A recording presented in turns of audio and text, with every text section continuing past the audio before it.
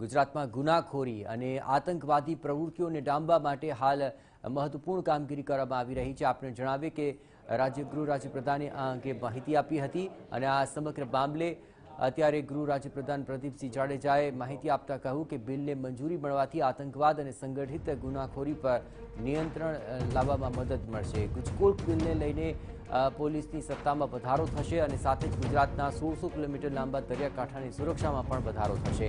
મહત્વપૂર્ણ છે કે વડાપ્રધાન નરેન્દ્ર મોદી ગુજરાતના મુખ્યપ્રધાન હતા ત્યારે વિધાનસભામાંથી આ બિલ પસાર કરાયું હતું. એ વખતે કેન્દ્રમાં વાજપેયીની સરકાર હતી. વાજપેયી સરકારે આ બિલમાં સુધારો કરવાની સલાહ આપી હતી અને ત્યારબાદ વર્ષ બે હજાર ઓગણીસમાં ફરીથી મંજૂરી માટે બિલ મોકલવામાં આવ્યું હતું.